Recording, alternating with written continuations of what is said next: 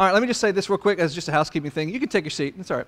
Um, sorry, I didn't make you freeze. Uh, as soon as we're done, I think it'll be after the invitation song. Jesse Cargill is going to run up here. He's going to go over the um, uh, involvement for, forms. I'm looking for Jesse. I don't know where he went to. There you are. Uh, you don't have the clicker, do you, Jesse? Because I don't have the clicker, so this is going to be fun. Um, so just keep your seats. After we're done, we'll, um, we'll let Jesse take the floor. He's going to walk you through that so you can have a better understanding of that. All right, it, it is a good uh, Sunday morning. We're thankful that you're here with, uh, with us at North Heights for this beautiful worship that we've had and for this great Father's Day that we're currently having. Happy Father's Day to all of you who are fathers. We, I, I do not have a Father's Day or father themed, pardon me, uh, sermon for you as I go down the stage to talk to Alex. Thank you. Um, I, I, know it's usually a thing that we do. We'll try to make the holidays a thing. We'll have a holiday themed sermon. It just kind of slipped through the cracks. It's, I guess it's my fault because this is my week and I just didn't think of it. But there is a little point that I will make that is father esque uh, I'll just make it as an aside, and I may build a whole sermon around it for some, some sermon on Father's Day in the future. But if you came here expecting a Father's Day sermon, I'm sorry to leave you disappointed. What we are going to do, which hopefully you'll, you'll uh, appreciate and, and, get something from, is continue our series that we've been kind of peppering throughout the year uh, as it relates to the apostles, the series entitled Get to Know Your Apostles we've basically taken the 12 and we're not taking them one at a time. There's a few that we're grouping together. But we're basically just introducing or perhaps reintroducing you to these men whom Jesus has chosen to be his ambassadors, to walk in his steps after he ascends into heaven to guide the early church and to lead over them and to help them and shape them into the image of the kind of kingdom on earth that He wants. But who are these people? What characteristics do they exhibit that we can learn from as we ourselves are being called and chosen by Jesus to follow after Him and to be His disciples as these 12 originally were as well?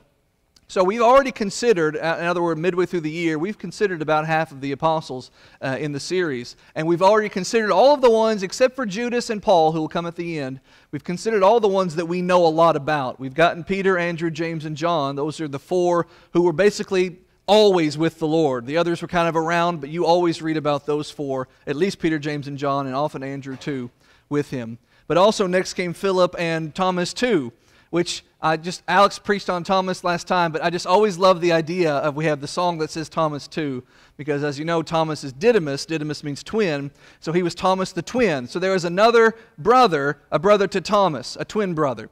And in my mind, in my head canon, Thomas came out second. Thomas was the second born of the two. And so they have the first son, let's call him Fred. Here's Fred, they give Fred to the mother, and oh, Thomas too. And from then on, Thomas was always Thomas too. You get ice cream, you'll get ice cream too, Thomas too.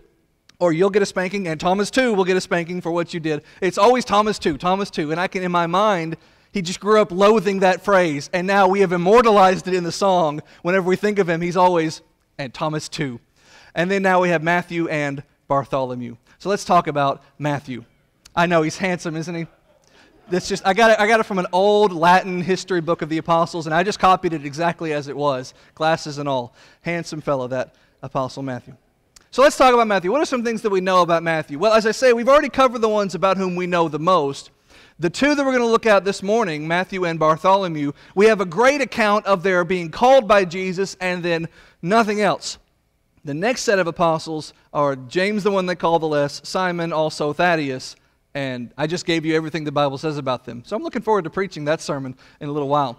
But about Matthew and Bartholomew, we have at least an account of their being called. But still, we know some things. We can learn some things about them. Matthew, his name in the Greek, Matthias, means, are you ready for this? Gift of God. And doesn't it, doesn't it ever? I didn't even need to look that one up. I just knew that implicitly. Gift of God. But that's just the Greek form of his name. There is other, another Bible account in Luke's account that calls him by his Hebrew name, which is Levi. Levi doesn't mean gift of God. Levi, the Hebrew word, has an entirely different meaning. Levi, of course, as you know, the Levites were the Hebrew tribe, the Israelite tribe, who facilitated the priesthood and the worship services and the worship activities and things, the spiritual activities, the heart of the, the nation, were conducted through the Levite tribe. So you would naturally think Levi, that root word, would relate. And in the Hebrew word, it kind of sort of does, but I don't think the Hebrews invented the word Levi, and I'll tell you that in a second. But the Hebrew word Levi means to attach, to attach yourself. And not in the sense of like a, a, physical, you know, like a hug or an animal that latches onto you, but more in the sense of this is a thing that I want to participate in. I will attach myself to it. I will connect myself, be associated with. That kind of attachment is at the heart of Levi. So you can think, you can kind of make a connection between that idea and those who attached themselves by their birthright to the service of the priest. But there's a better word that makes that connection. There is, of course, Hebrew, the language, a lot of it came from uh, the Chaldean region as Abraham traveled over from Ur, crossed the Jordan River, and the people there called him the one who crossed over, which is Hebrew. And so they call him that, and so that language kind of formed from that kind of, if you're studying the history of languages, you kind of trace the, um, the Fertile Crescent to learn the history of the, the Hebrew language and how it formed. But the word Levi really has its roots in the Minaeans, the Minaean language, which is more south of the Promised Land, more almost to Arabia. And there's a Minaean word, Lavi, which, from which morphed into the word the Hebrews kind of took and made their own, Levi. Lavi means to devote yourself to a service. Now that sounds like the Levites. The Levites devoted themselves to the service of God's priesthood. And that name, that idea kind of stuck and formed around it the word Levi, um, which, if, of course, it was a son, but it came to mean that idea um, through the Minaean usage of the word. But this one that we're speaking of, this Levi, our Levi, our Matthew, does not devote himself to the service of God's priesthood. He devotes himself to a different work. This Matthew is a publican. And as we are introduced to him in the text that we're going to read here in just a minute in Matthew 9, he is a publican who, like all other publicans in Jerusalem and in Judea, are loathed, are detested, are outcasted, are, here's our key word, despised. And we'll define that word here in a little bit. Matthew was a disliked person in his Judean society, purely and simply and strictly because of the work that he did, the service he attached himself and devoted himself to doing, a publican. What is a publican? It is a tax collector. And we make the easy jokes with the IRS, and you, there, are, there is some common denominators you can make there. But I don't want you just to, to, um, to limit yourself to thinking, oh, it was just like the first century IRS. Because there's more to it than that that made publicans and tax collectors so reviled. Like, I don't think, surely none of us here, where's Mark Davis? None of us here, or, or, or Jesse um, uh, Whitmire, who uh, hate the person who does your taxes, right? The person you, you help and who helps you organize and sends your taxes. And I would hope even if, if the government sent a person to collect the check instead of you mailing it in, that you wouldn't take out your anger on the person whose job it just is to collect the money. But the publicans of the first century did not just collect the money. That should have been all they did, but there was more to it than that. Nobody likes paying taxes. I would assume we're all right there in that same boat, right? It's, it's a universal thing. It dates back to the first century, too. They didn't like paying their taxes either. They especially didn't like paying taxes in Judea. The Jews especially didn't like paying taxes because they were writing those checks to the Romans. And they didn't like to think about how they were in subjugation to the Roman Empire. They wanted to be their own free, independent people. Well, they were in subject to Rome, and Rome has to collect those taxes. But Rome, being an empire that had some sense about them, knew better than to make a Roman citizen be the publican. They wouldn't send in the Roman guy with the toga and with the thing on his head, the little grass on his head, and walk up there and collect the taxes. This person who is the image of a Roman taking my hard earned money, that's a good way to stir up a rebellion. You know how I know? Because next week is Independence Day. So they had better sense than that. What did they do? They drew from among the people their own publicans. They said, We will use, in the case of Judea, a Judean person. A Jew will be the tax collector. And if that Jew who has to do this job that no one likes, if he wants to take a little bit on his, for himself, if he wants to, you know, inflate the amount that's owed and take a cut for himself, that's fine with us. The Romans will happily look the other way. And so the publicans became these legalized extortioners. They became these people who got away with robbing the people of their hard earned money. You must owe the Roman Empire so much and so much, plus a finder's fee of so much percent that they'll get to pocket and send the rest to Mother Rome. And because of this, and because it was known, the person paying the money knew that guy was robbing them. The guy knew he knew. Everyone knew that they knew that they were being robbed. These publicans became this outcasted people, this loathed people, this despised people. And it is this people, uh, from that people, that Jesus chose his apostle Matthew. It is from that group of people that the Jews loathed. Now, watch this that Jesus chose to make a Jew write his autobiography of his ministry.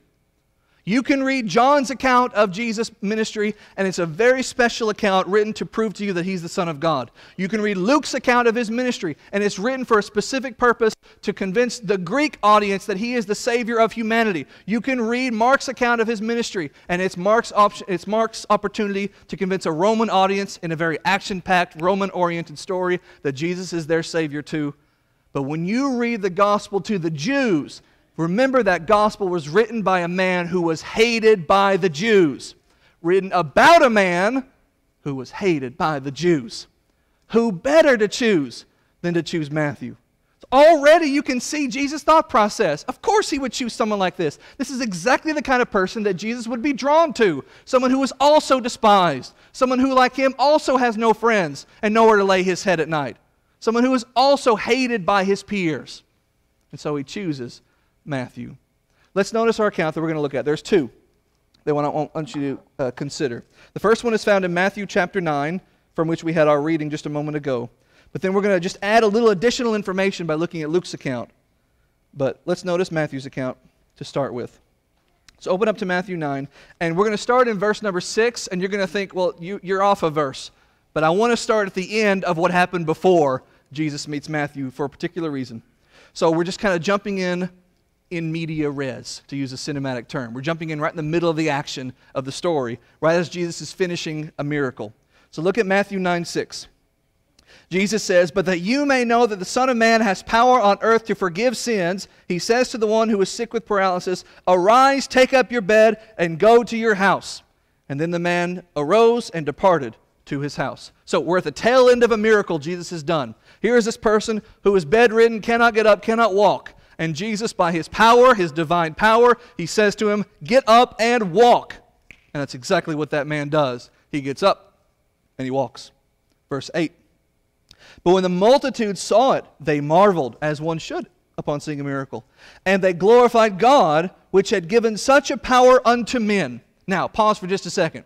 Do you think that this multitude that has gathered, that has now laid eyes on a supernatural event, a man whom they all know is paralyzed and now is able to get up and walk, and they rightly credit Jesus with doing that with a power given to him by God. Do you think those people, when they saw Jesus walk out the door to go to his next destination, thought to themselves, well, that was fun. What are we having to eat? Let's just go home. No. I'll bet you they thought, where's he going next? Let's see what else he's going to do. We have precedent for that. Because that's exactly what they did multiple times. Like when he fed 5,000, what was the next thing that they did? They followed him to see where he was going next. When people see a miracle and they're moved by it, you just want to see another one. Because by definition, a miracle, you've never seen one like it. So you'll want to see another one. So I have it in my mind this crowd of people, your average, everyday Jew, is following the Master as he goes to his next destination. And what is his next destination? What's his follow up? What's his encore? Keep reading. Look at Matthew 9, verse 9. As Jesus passed forth from there, he saw a man named Matthew sitting at, the King James says, the receipt of custom, the tax collector's booth. And he said unto him, Follow me. And Matthew arose and followed him. And it came to pass, as Jesus sat at meat in the house, as Matthew's house, behold, many publicans and sinners came and sat down with him and his disciples. And when the Pharisees saw it, they said to Jesus' disciples, Why does your master eat with publicans and sinners? Doesn't he know we, the Pharisees, the law of the land here, the sheriffs in town, doesn't he know that we, the arbiters of what is right and wrong, justice and unjust, righteous and wicked, doesn't he know that we have deemed such people unworthy of fellowship meals? They can't go to the synagogue with us. They can't sit down and eat common meals with us. They cannot be part of our community. They must be ostracized, the publicans and the sinners with them. And what is your master doing? Eating with such vermin, eating with such traitors to the race. And Jesus' response, as the reading was, very poetic. He says, You know, the healthy don't need a doctor, the sick need a doctor. And you can keep reading because he just starts really burning them here. Look at verse 13. But you go and learn what this means. I will have mercy and not sacrifice. For I have come to call, not call the righteous, but sinners to repentance. I didn't come here for the righteous. And what he means by that in the context, I didn't come here for the self righteous. I didn't come here for the people who made themselves righteous, who think that they're above other people, who think that they're great. I didn't come here for those kind of people because those kind of people won't accept my salvation. Oh, I know He died for them. In that sense, He came for them. What He's saying is, I came to call, I came to invite, I came to have follow me humble people. And Pharisee people, self righteous people won't follow Him. I came to call sinners to repentance. And so through Matthew, he finds a whole feastful of them with whom he can sit and eat and fellowship and invite to follow him. But there's, it's more to it than that. If you just read Matthew's account, maybe it's Matthew, the writer's own humility that he doesn't specify. So let's go over to Luke's account. Look at Luke chapter 5. And notice a detail that's missing from Matthew's account. Look at Luke 5:27 to start with. And notice something about the character of Matthew that's just kind of hidden in the text. Luke chapter 5, starting in verse 27. After these things, that is, after Jesus did the miracle, he went forth and saw a publican named Levi, that's our Matthew, sitting at the receipt of custom, and he said to him, Follow me. And Matthew left all, rose up, and followed him. And then it says, And Matthew made him a great feast in his own house, and there was a great company of publicans and others that sat down with them. Now, that seems like it's the same thing, but the important distinction is it emphasizes that this was Matthew's house, Matthew's feast, and people there by Matthew's invitation. A great company of them came to Matthew's house, which means if Jesus had not been there, a great company of publicans and sinners were going to have dinner with Matthew that evening anyway. It wasn't just because of Jesus. That's kind of the implication you get in Matthew, but Luke's account makes it more particular. He was always going to invite those people because, of course, he was. They're outcasted by everyone else. You must stick together. You need each other. And Matthew took it upon himself to invite the despised, to bring in the fellow people who are hated, to bring in the people like him who need someone. That kind of heart attracted my Lord. And he thought, here's someone who can be my ambassador. Here's someone who gets it. Here's someone who can represent that aspect of me, because that's what an ambassador does. He can see the despised, and he can have a heart of compassion and a desire to help. That's the Apostle Matthew. That's the one who says, My life is a gift of God, and I want to help. I want to attach myself to this service, and I want to help these people who are likewise despised. I think Jesus saw something of himself in that, not just in being despised, but in having an inviting spirit. That's Matthew. Now we shift gears to Bartholomew, and you're going to think, well, this is just two different sermons that you just smushed together. We could, be, we could be going home right now. You could be giving the invitation, you could preach Bartholomew later, but no, there's a connection between these two apostles. It's tenuous, but there is one. If you give me a chance, I'll make it in just a second.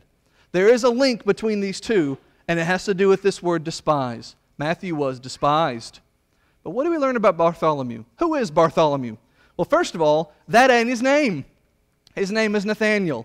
Bartholomew is a nickname, if that. Bar in the Hebrew means son of, and Ptolemy is his daddy's name. This is Nathaniel, son of Ptolemy. This is Nathaniel Bar Ptolemy, which, as words do, they evolve and they change. Bartolome, Bartholomew, Bartholomew became that.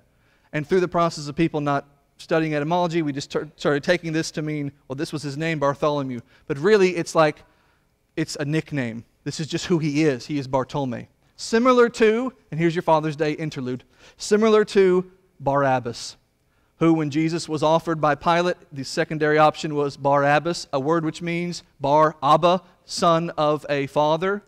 So the Jews, the wicked Jews, chose the son of a father over the son of the father. So there's your Father's Day thought. All right, anyway, so Bartolome, that's his name, but his real name is Nathaniel. Nathaniel means, listen to this now, God has given. Now, what does Matthew mean? God's gift. Nathaniel, God has given. Now, that's, that's a weak link, okay? Because really, he's Levi. But still, I just want to toss that out there. There's a better connection between them that has nothing to do with their names, it has to do with who they are. Matthew was despised. What do we learn about Bartholomew? Well, go to John chapter 1 and let's read the only account we really have about him. Look at John 1, starting in verse 43.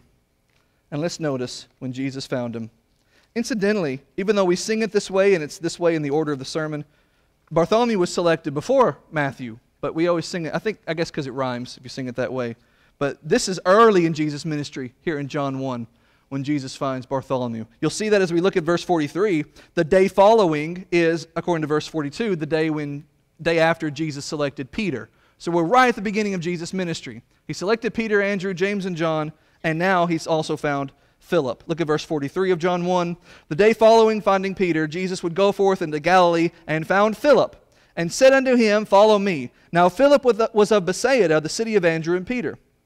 Philip found Nathanael, that's our Bartholomew, and said unto him, We have found him, of whom Moses in the law and the prophets did write. He is Jesus, the son of Joseph, from the town of Nazareth. If you remember from the sermon we did on Philip, we talked about the prejudice of Bartholomew. But let's just notice the excitement in Philip's voice here and how Bartholomew is quick to just deflate that balloon. We found him. John's been preaching about him. He's been telling us he's coming, John the Baptizer, and now we found him. We've been looking for him and we found him. He is the Messiah, defined here as him whom Moses in the law and also all the other prophets have been writing about, cluing us in on, preparing us for, and we found him. Great. What's his name? Jesus. Makes sense. Name means Savior.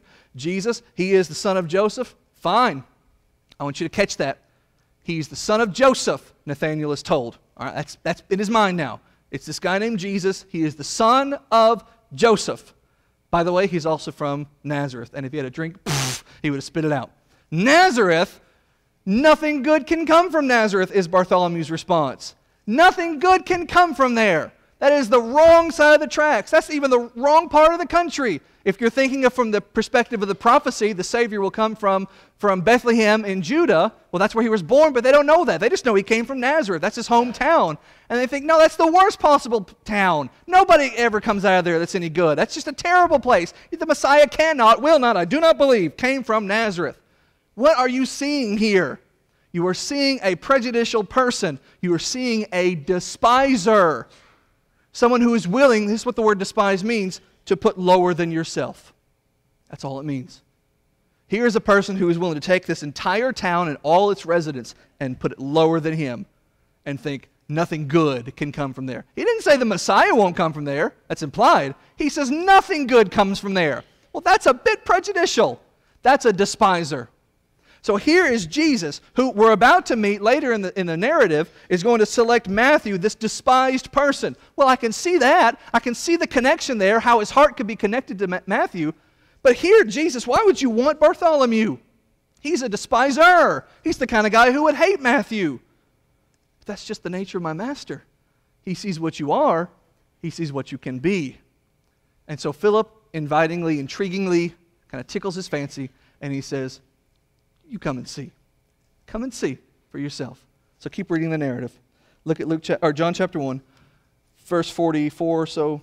Uh, come and see. Verse 46. Look at verse 47. Jesus saw Nathanael coming to him. Now, watch what my master does. And he says to him, Behold, an Israelite indeed, in whom is no guile. Now, the key word is behold, a word which means, Lo, everybody, pay attention. So even though it says he said to him, I don't want you to think this is a private conversation between these two people. No, this is everybody, look, do you see this guy coming? Everybody get a good look at this guy, Bartholomew, the son of Ptolemy. Look at this guy, Nathaniel's his name. Whatever this guy says, he is an Israelite indeed. A, a phrase which just means this is a true American. This is the best embodiment of the United Kingdom. You'll never find a greater representation of Italy. This is an Israelite indeed. He embodies the spirit of what it means to be an Israelite. And what is that? According to Jesus, there's no guile in his mouth. What's guile? It means there's no deceit. There's no language that he would speak that would mislead. In other words, look at this guy, everybody. Listen carefully to this guy. Whatever he says, you can take it to the bank. That is Jesus planting a seed setting him up, and he doesn't even realize it. He's telling everybody, listen, Whatever this guy says, take it to the bank. Now, if you're Nathaniel, you've already dissed this guy's hometown and implicitly him, and you hear this, your response would be his, which is, How do you know me? You don't know me. And Jesus says to him, When you were under the fig tree, I saw you. Now, that doesn't mean anything to us, but you got to remember, Nathaniel, when Philip found him, was just chilling under a tree, alone. There was no one around. And Philip came up and ruined the moment, but he was just relaxing, meditating, contemplating, alone with his thoughts. There was no one around but him and his God. And then here's this guy whom he has heard is the son of Joseph and whom he has dismissed based on his hometown, who has said, Hey, when you were all alone and you knew there was no one around under that tree, I saw you. Whew. What does he say? He says, You are the Christ, the Son of God. My mistake. That's my fault. I was wrong. You are the Son of God. And Jesus is almost amused because he says, Is that, is that all it takes? Just because I told you I saw you under the tree, you believe? And then he says, You ain't seen nothing yet. Isn't that what he says? Look at the text. Look at verse 50. Because I said to you, I saw you under the tree, you believe? You shall see greater things than these. Is that all it takes to blow your mind? You ain't seen nothing yet. You will see heaven open and the angels ascending and descending, which is a reference to Jacob's ladder, which was not a ladder but a stairway. You will see what Jacob saw realized. Jacob, who had his great vision of a stairway that ascended up to heaven, to the throne of God, and angels ascending and descending, doing their work between heaven and earth. And at the top of the stairs was the voice of God saying, Your descendants will inherit the earth, a messianic reference. And now here is that Messiah personified. And he says, You will see what Jacob saw like every Tuesday. You'll see one of the greatest miracles ever just on the regular. That blew your mind? Get ready, buckle up, and come follow me. And that Bartholomew, that despiser, shed that persona. And he became Bartholomew. He became Nathaniel, the follower of Jesus.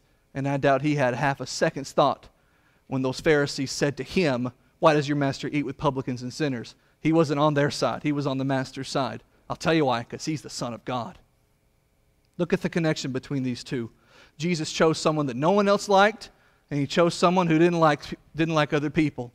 And he said, I can use both of these people, and I can make them my own. Now, what about you? Are you a despised person? It hurts. I know it does. My master can use you. My master can, can have you help others who are in your same boat if you follow him and lead them to him too. Are you the kind of person whose first instinct is to look down on someone who's not like you? There's a lot of people like that.